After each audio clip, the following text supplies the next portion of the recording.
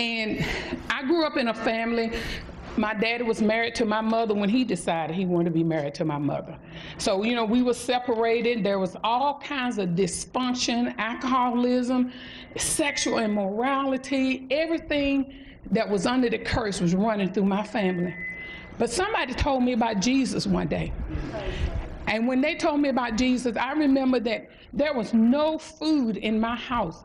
And it was eight of us, and my grandmother was living with us, and my mother. So that was nine people. And I opened the cabinets up, and my grandmother said, I don't know what I'm gonna do. There was literally no nothing in the house. Hadn't seen my dad in a while. Well, I went out in the woods because I was with those Pentecostal women at my church, and they told me God would answer prayer. Now, I'm born again, don't know a lot of the word of God, but they told me this God will answer prayer, and God will take care of you. That was all I had inside of me. And I remember just as clear as I'm standing today, I walked out in the woods far as I could to get away from my family. And you know what? I didn't, you know, didn't speak the word like I know it now, but I said, God, those ladies told me you would take care of me. Now, me and my family don't have any food. You feed us tonight. And I was out in the woods, and that was all I knew to say. And I was walking back to the house. And I heard a truck come up in the driveway, and it was my daddy with the back end of his truck full of grocery. We hadn't seen him in a while. That was my first prayer that I knew God was real and God was a provider. You know what I'm saying this morning, like Pastor said, Christ in Janice is my hope of glory. Ever since I was 12 years old and became to know God, it's been my hope of glory. It's been my foundation that, you know what, I'm not crazy. I, am not on Prozac. I'm not, you know, I don't need drugs in the morning to get me going. Christ in me. Hallelujah. Glory. You know what? I thank God for just knowing that, that I'm lost without God that I am desperate for him, like a deer panted after the water. So my soul longs for God. All my life, God has been good and faithful. Amen. And I thank God, you know what? When my family would have just been in even more chaos, my prayer, I didn't know much word, but I knew God protected me and my family. You know what? You have you, you Christ in you is the hope of glory. And I say to every young person in here, you don't have to be on Prozac. You don't have to be crazy.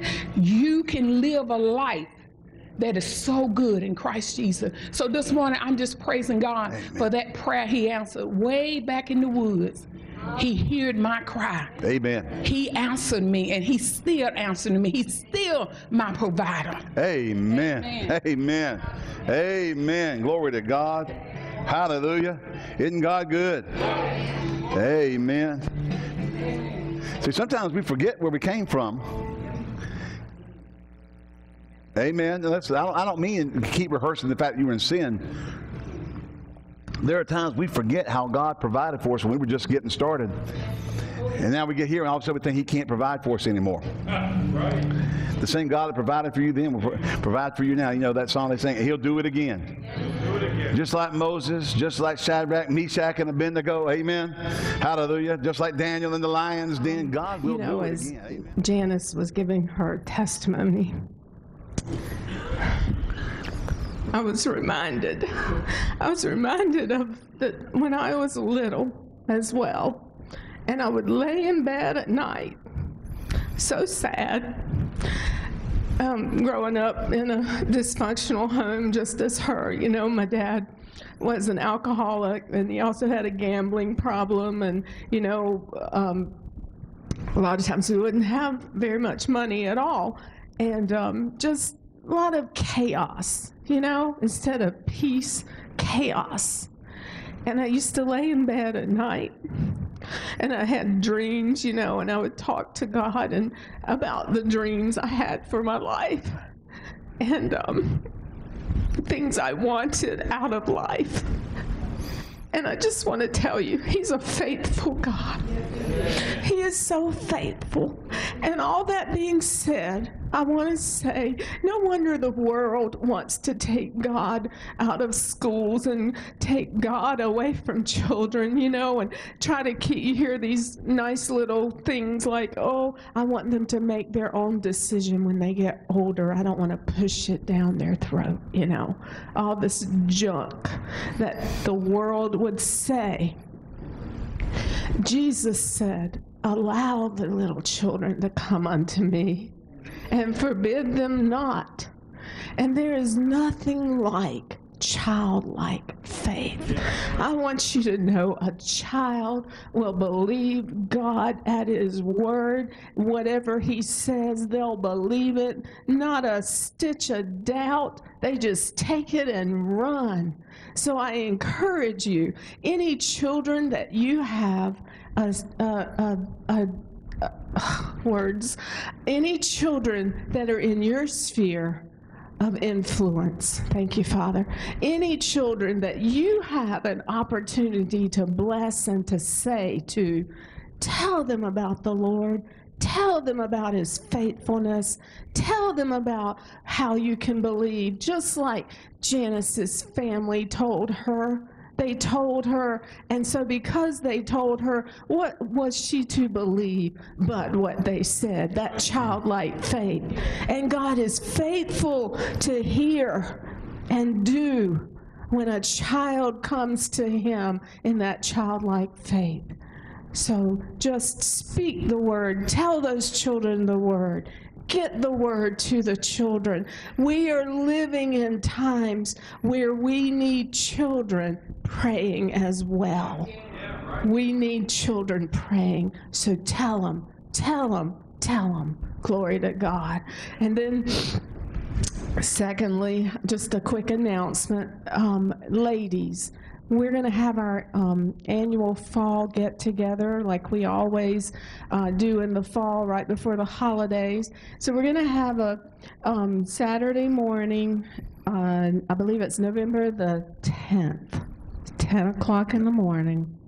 And I'm sorry if anybody's already made plans, I apologize. But Saturday morning, November the 10th, we're going to have a pre holiday get together. We're going to, I'll have a sign up sheet on the board out there. But also, it's going to be an ornament exchange.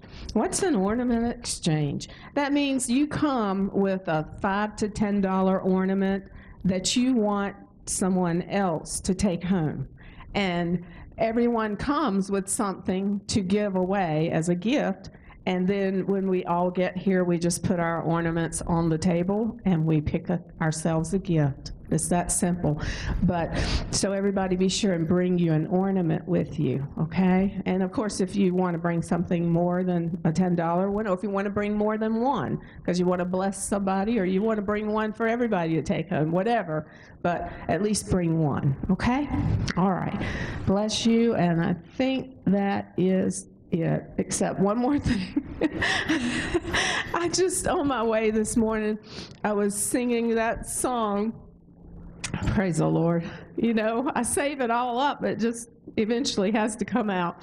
But on the way this morning, I was singing that song. Um, oh, how does it go? Um, bless um, Jehovah Nisi, Jehovah Shalom, uh, what you are to me. How does it go? Somebody help me. Because of who you are. Thank you. And that's the key point there because of who you are.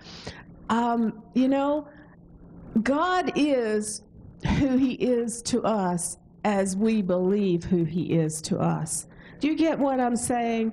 You know, if you think He's stingy and barely got enough, that's what He'll be to you. The Bible says we can limit Him. Let's take the limits off of Him in our lives. Let's let Him be.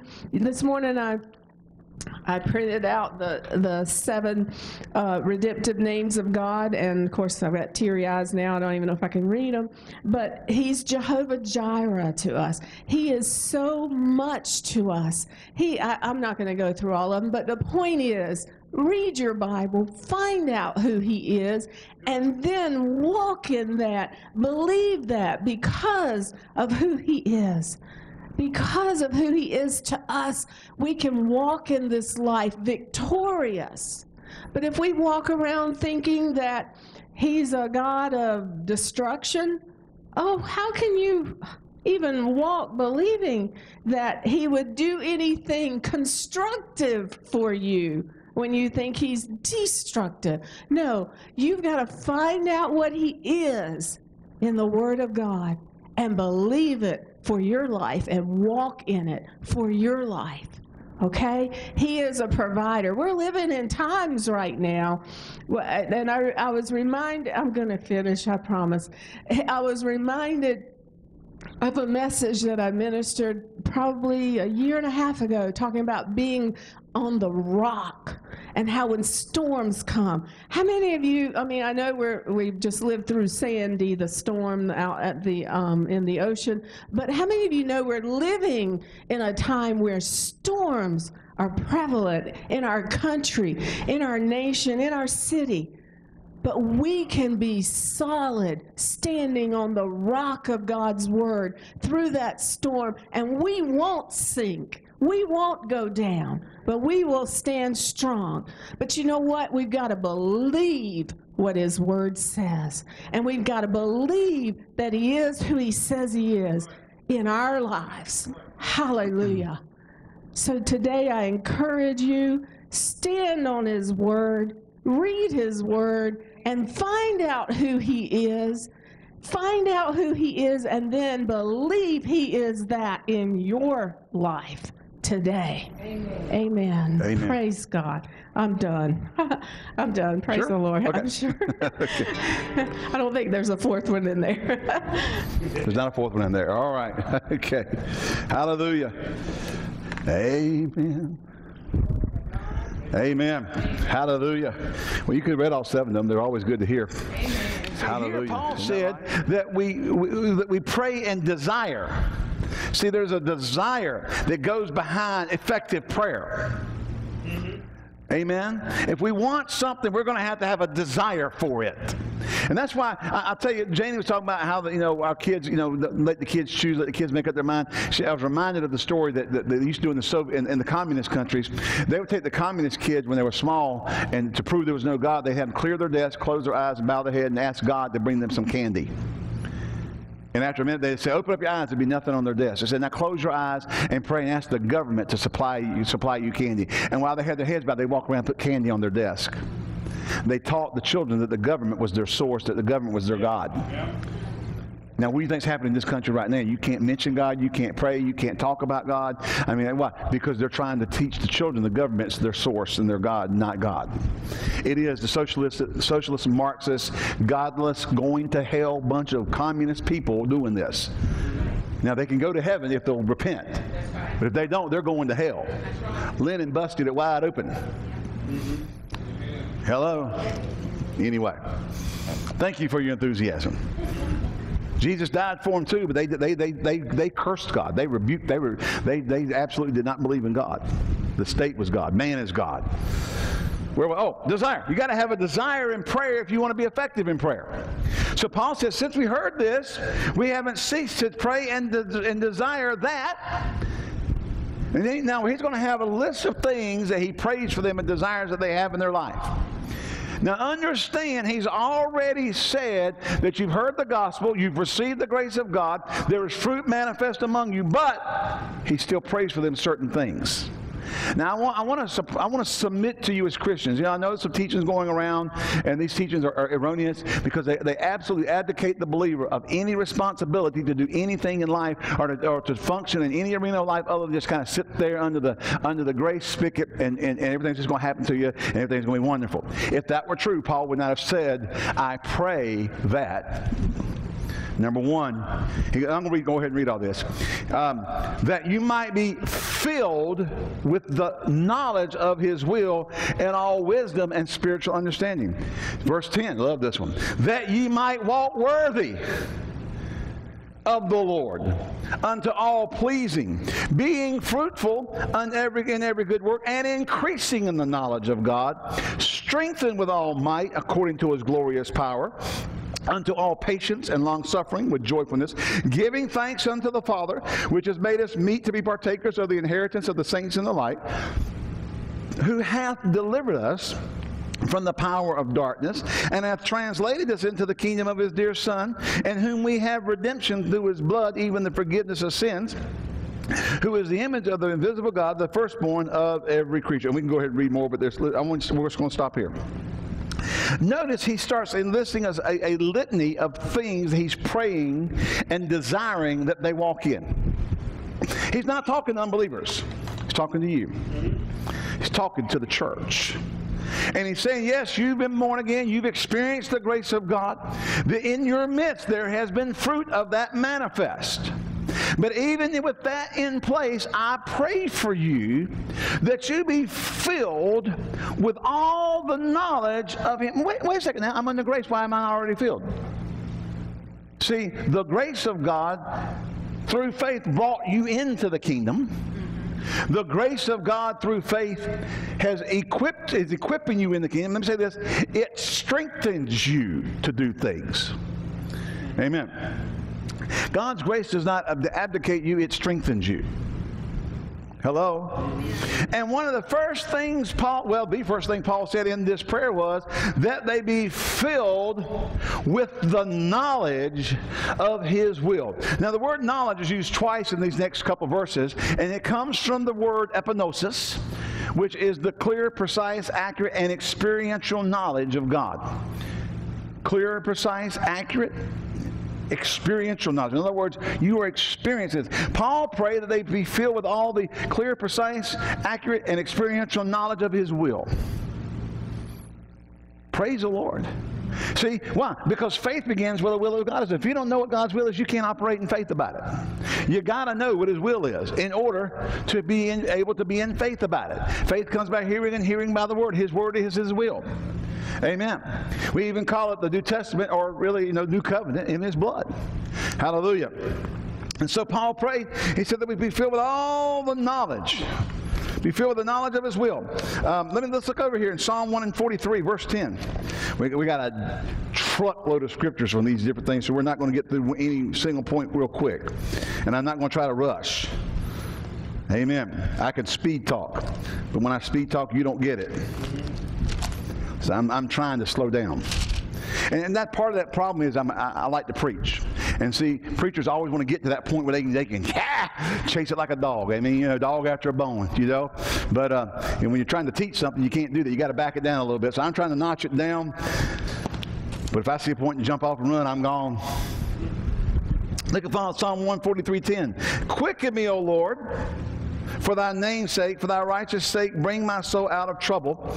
Hallelujah. That is the wrong verse. Oh, verse 10, I read verse 11. Teach me to do thy will, for thou art my God. Thy spirit is good. Lead me in the land of quietness. Teach me to do thy will. Remember, Paul was praying that we be filled with the knowledge of his will. The psalmist said, Teach me thy will. Yeah. Amen. Don't you understand that God wants you to walk in his will? Grace, grace strengthens you to walk in His will. But you got to find out what the will is. I'm going to tell you something. When you get born again, you're going to still have to spend time in the Word. Amen. You can't advocate. You can't leave that. You can't. I'm just going to stop using advocate because people going, "What does that mean?" You know, kings would advocate the throne. They would, in other words, they would they would relinquish their right to it. And see, and people people a lot of times advocate their rights as a Christian because they because they, they want something different. They want something easier, and so they just won't. They'll relinquish their rights to it because they won't lay hold of it. They won't study it. They won't spend time there. Let me say this. There are things in the Bible we, we, we've presented, we have presented a case in the Word of Faith circles, and that's what I've, that's what I've been for decades. I grew up Pentecostal, came among the Word of Faith people. That that everything is is easy. Brother Hagin said, you know, we teach people that life's like flower. You know, we're going to go through life like flowery beds of ease, on flowery beds of ease you know? And the truth of the matter is, you're going to face things. Yeah. You're going to have to put forth effort. Amen. The Bible told Paul Timothy said, endure hardness as a good soldier. Mm-hmm. The Bible says to fight the good fight of faith. All those terminologies kind of do away with the tiptoe through the tulip routine. And I'm not going to Tiny Tim it this morning. I'm going to have Nathan bring his ukulele one night and let him do tiptoe through the tulips for you. He does a better job than I do. Hallelujah. Just, just so you can be live in reminiscence of how wonderful that song was as he sung it to Miss Vicki. Amen. The truth of the matter is, you're going to have to put some effort forward. Not to get saved, but you're going to have to put effort to grow. Yeah. You put effort for it to grow right now. I'm going to tell you right now. They, they can say, dinner's ready, and you come a running. There's some effort put forth on your part. Amen. You sit and look at that food, it don't jump up and slide, slide down your throat. You dive in. Hello, like a hog eating slop. You know what I mean? Like like a football team at football camp. I mean, I mean, you're slapping it everywhere. Glory to God, hallelujah. I mean, you, know, you put some effort to get that food in you, didn't you? You're going to have to put forth effort to get the word in you. Right. Got to come to church. Got to sit in church and listen and be open. You can't sit at home and say, I don't need church. You're, you're just lying to yourself. You listen to a lying devil. You're not going to get enough at home without listening to somebody else. Because God gave a unless you are an apostle, prophet, evangelist, pastor, and teacher wrapped up into one, and you're preaching to yourself in the mirror uh, under those anointings, you're not going to get it all at home. Right. Well, I listen to them on television. That ain't enough. Because ain't none of them going to show up at your house and pray for you. Now, Mr. C, I know he watches t- you know, television, television preachers. Now, I didn't see any of them at the hospital when he was going into surgery. Mm-hmm. I was there. Yeah. Hello? His pastor was there. Amen. Glory to God. So, but you got, you have to, we're going to have to understand here the psalmist says, Teach me to do thy will.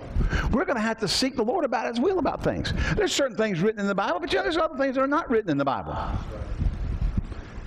The Bible didn't tell you to go work for VF Corporation. Mm-hmm. Did it, Dick? Didn't tell you when to retire, did it? That had to be ascertained uh, by other means. In harmony with the Word, but you had to find out and find out what the will of God was and do it. Bobblehead for me. All right. Look, look, look at John 7. Look, look, look, look, look at John 7.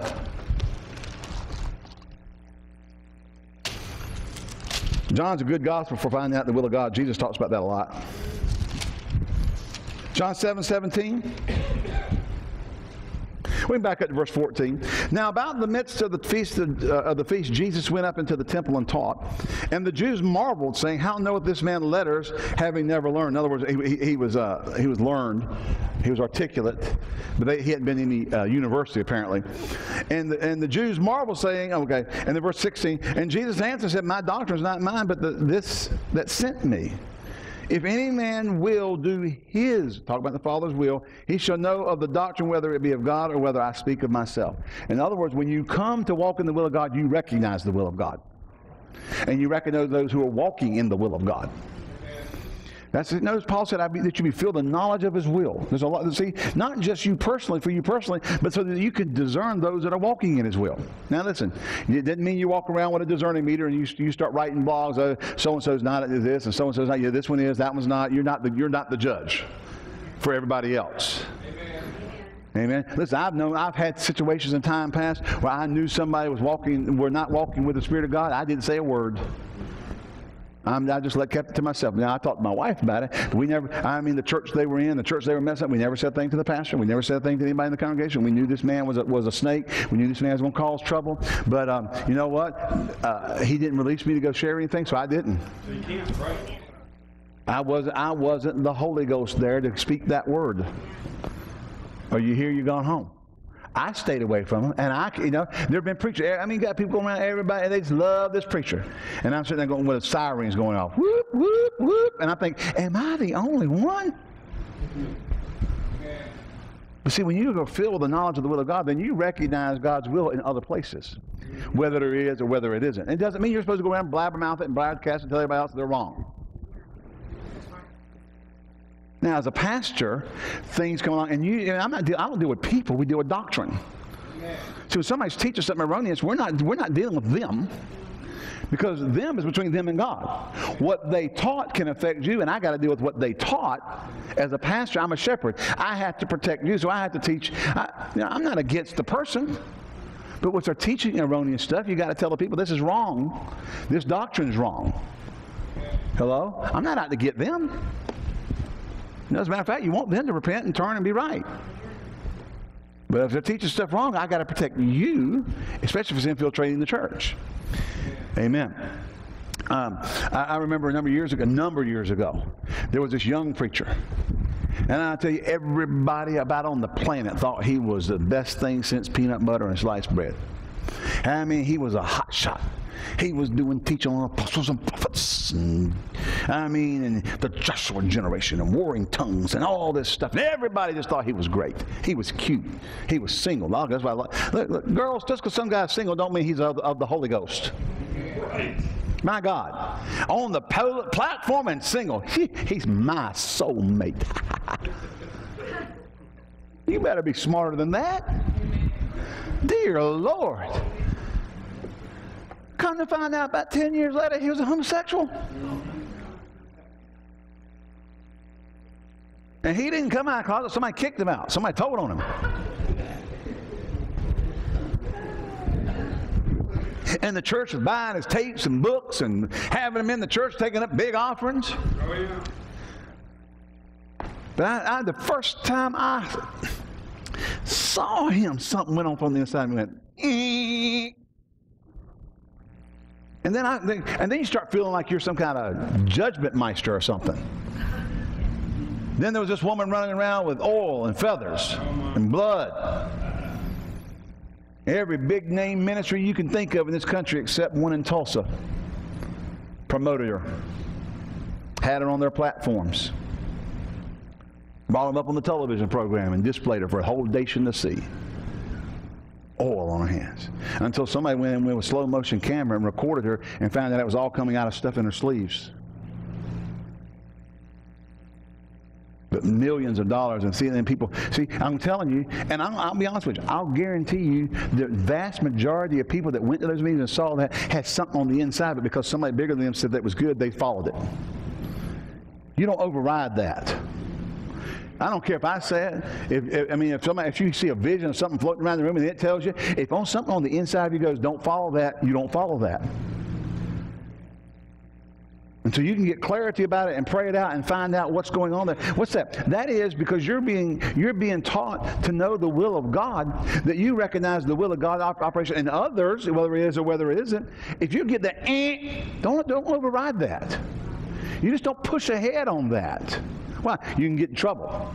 Now, see, people had to get up and repent and say, I'm sorry. You know, then that woman with the gold dust out of, out of uh, South America. Everybody put her on television, had her in all the meetings, thousands of people coming, and you know, giving big offers. I'm th- all I could think was, man, if you can, if you can come up with gold dust, who needs to give you an offering? there was just enough gold dust to get everybody giving big offerings.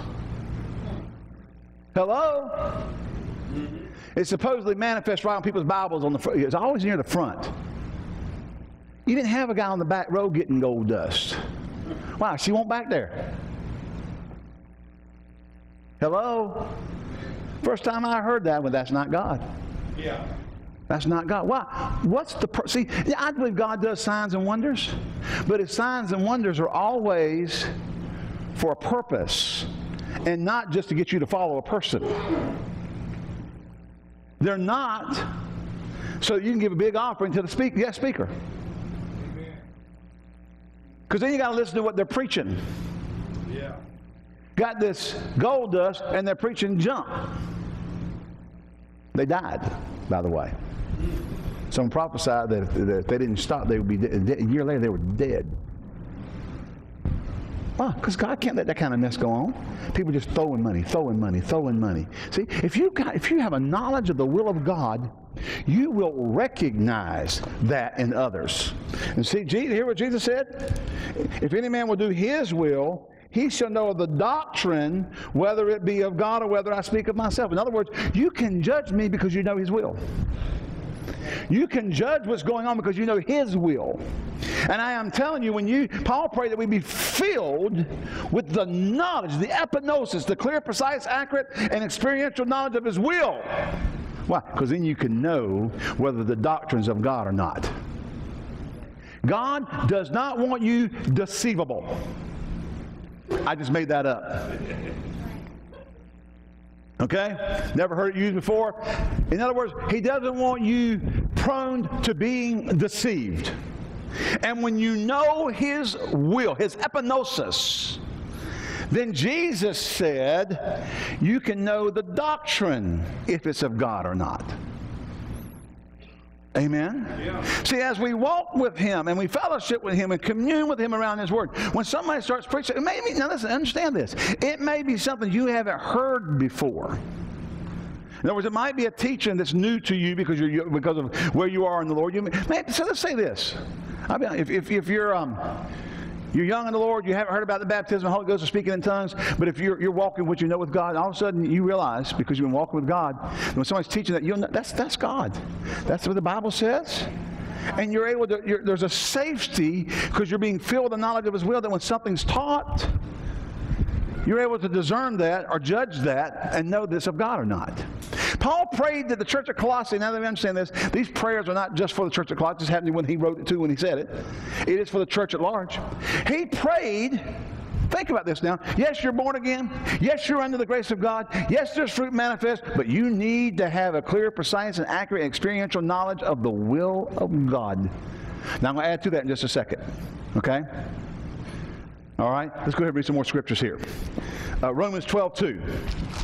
Be not conformed to this world, but be ye transformed by the renewing of your mind, that you may prove what is that good, perfect, and acceptable will of God. We're teaching that on Wednesdays. All right? Well, we're not going to spend time there because we're teaching on that. Ephesians 5. Keep on, keep on going. Ephesians 5. What does it say here? In verse 10, proving what is acceptable unto the Lord. Now, I'm going to tell you something. Y'all ready for something? This goobity got garbage about we just love everybody. Meaning, and listen, the implication meaning you accept whatever they say because anything different is not walking in love is of the devil. Yeah. Yes, God wants you to walk in love, but He also wants you to prove if it's of, if it's of God or not. That went over big. A lot of stuff that's preached is called preaching the love of God is not the love of God. It's stupidity. Because we're teaching people to accept whatever anybody does as, well, I can't say anything because me to say something or does it, that's judgment and that's not love. What the world needs now is love, sweet love. There's one thing that's just what the world needs now He's in case you've seen some smoking reefer, long hair, bell bottoms. I mean, the whole thing. I mean, the whole hippie scene. Hadn't had a bath in six months. Just came from Woodstock. What the world needs now is love, sweet love. And if you say, that's wrong, you're not love. Nathan was looking on somebody's site the other day, a guy who wrote a Christian song a few years ago. Well, he came out later. He's, he's, he came out of the closet, said he's homo. And now he's got a new song out that's kind of talking about how the, the pastors are, are, are, are, treating him wrong because he came out of the closet and they're supposed to walk in love. And people are like, brother, I'm praying for you. I don't agree with what you've done, but we, we love you. We're still praying for you. And that was all the comments on, the, uh, on, on, his, on, his, on his feed. And then, and then people come out, you're so evil. You're mean. You're full of hate speech. I was helping they pray for him and love him. The world, the world and I'm tell you something, the church has adopted it in many places. The world means when they say love, you accept anything I do is right. That's not love. I said that is not love. When my children are doing wrong, I don't I love them, but I do not accept their wrongness as right as a demonstration of my love. My love demands I correct the behavior and train them not to do that behavior. That's love. Yeah. Amen? The world tells you, and we just filtered into the church, we've adopted this goobity got garbage that love is just, you know, we can't ever say anything because you'll make them feel bad. When you look in the Bible, when people repented, they got convicted and cut to the heart. They felt bad. John said, If our heart condemn us not, then we have confidence toward God. Your heart will condemn you if you're doing wrong. Yes, it will. Yes, it will. It'll convict you while you're thinking about doing it. It'll convict you while you're doing it. And it'll convict you after you've done it. And it will keep convicting you until you repent. That's how it works. God don't have to. Your own heart will. Hello. Thank you for your enthusiasm. All right. Ephesians 5.10, we said what we say, it said, it said, proving what is acceptable unto the Lord. Verse 17, wherefore be not unwise but understanding what the will of the Lord is. St. Paul. Writing to the church of Ephesus, he's now writing to, he, he, he wrote to Colossae, he said that you might be filled with the knowledge of God. Here he's saying, understand what the will of the Lord is. Why? It is important for you to have that knowledge of the will of God. Now, let me say this: the only place you're going to get it is His Word, and you know, His Word, and in prayerful study of His Word for the Holy Ghost to teach you. Remember, He's the teacher. To come to understanding of the will of God. God wants, he said, he, what did he say? Look at this. Be not unwise. Oh, I'm under grace. it don't matter what I do. That's unwise.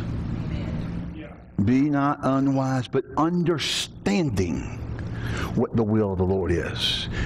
Now, uh, listen, I know some of you may be going, what's he talking about this grace? Listen, I believe in the grace of God. I believe there's biblical grace. I believe grace has a, has a, a phenomenally important role in our life. I don't believe in this crazy grace where it tells you you can go out and fornicate and it don't matter. That you can live and you could uh, you can you can rob banks and it don't matter. That you don't have to go to church and it don't matter. You don't have to do anything the Bible says because you're under grace. That's the stuff I'm talking about. See, it's going to take. Uh, see, and see, if I teach this, some people say you're teaching law, you're teaching legalism because you're demanding that people go study the Bible. Like it's going to hurt you? Hello? Are you here? You're going home. You're demanding they read the Bible and actually get something out of it. That's bondage. No. There's liberty in the Word of God. Are you here? The Word of God, the truth, you shall know the truth, and the truth will set you free. There is liberty in the scriptures. Hallelujah. And so Paul says, Be not unwise, but be, what we say, verse 17, wherefore be not unwise, but understanding what the will of the Lord is. Hallelujah. Colossians 4.12. He's on down the road, the Bible here, four, four, chapter 4, verse 12.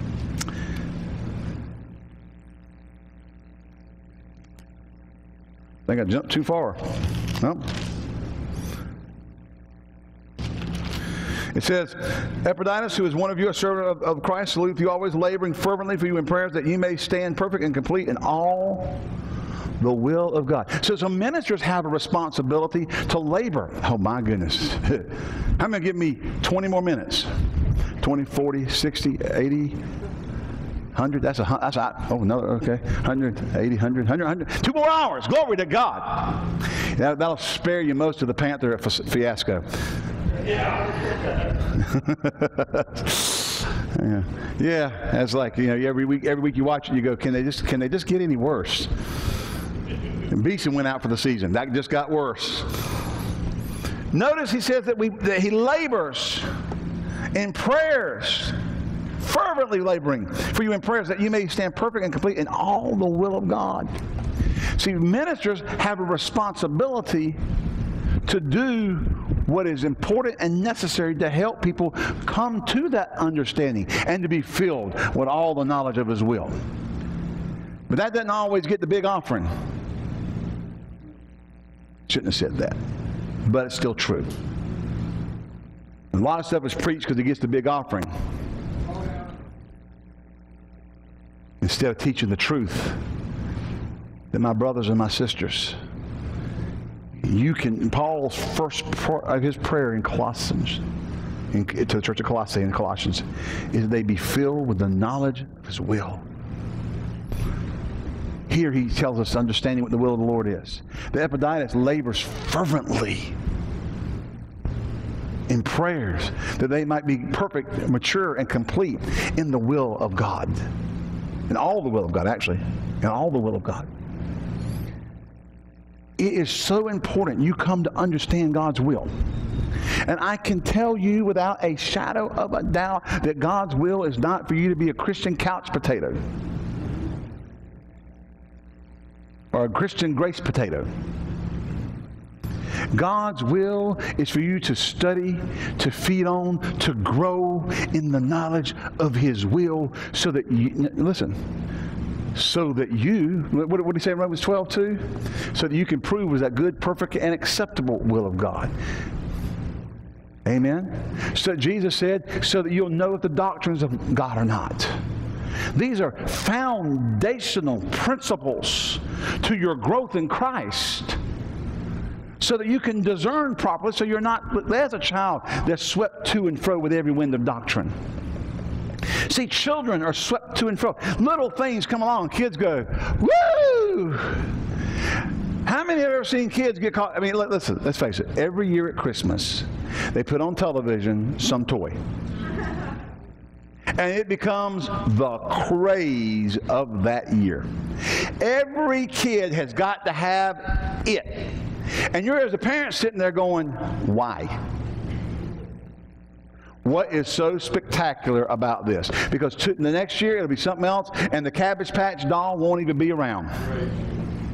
But the year before, you were paying hundreds and hundreds of dollars. I mean, fighting folk over them in the store to get the last one, shooting them because because children have to have you know they, they're moved by marketing or they're moved by sight. And you know, the church what is it? Be no more children paul wrote. Amen? Tossed to and fro by every wind of doctrine. Winds of doctrine like new christmas toys. See, we got a wind of doctrine blowing through the church right now. And people just running after it because it's hot, it's the latest, greatest. And it's, it's shipwrecking people when in their heart, and I'll tell you, I've seen people I've seen people who just thrown away years of teaching because it was so exciting, and the other stuff they're doing wasn't exciting. It was exciting to find out I don't have to even study my Bible. It was exciting to find out I don't have to give. It was exciting to find out I don't have to go to church. Hello? It's exciting to find out I don't have to submit. Woo! I don't have to submit to that pastor. I've seen people, people left our church that did this. Yeah, God, hallelujah. They finally don't have to do what that mean, evil Ed Taylor said.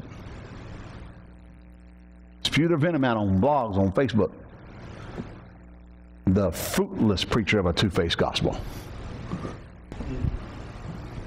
Yeah. Oh, evil Ed. E E. E square. Evil Ed. and all I ever did was teach you you got to do what the Bible says. Challenge you to step up to the plate, listen to the word, be a doer of the word, not a hearer only. All we've ever done is say, you are not going to get away with not being diligent about the things of God. Yeah. But somebody came along and told them they would and could. And it was, oh, it was I can lose 40 pounds in three days drinking this drink. You know? The Canadian weight loss program. It's not Canadian, I just, I just come up with a name.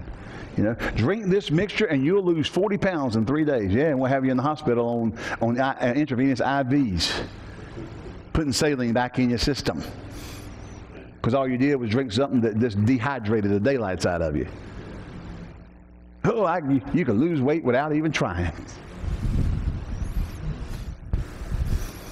Any weight loss you lose like that, as soon as you stop doing that, it'll all come back with a vengeance. Yeah. It comes back evil. I mean, it comes back evil, evil. You're going to have to, yeah, yeah you, could, you, could, you modify your diet, but you're going to have to do some exercise. We tell Christians you're going to grow without diligence. You're going to grow without study. You're go- all you got to do is come here and give money. And you only have to give money, but we want you to. Buy my books. They'll teach you how to live victorious every day and just sit on your couch and look at Jesus in the heavens.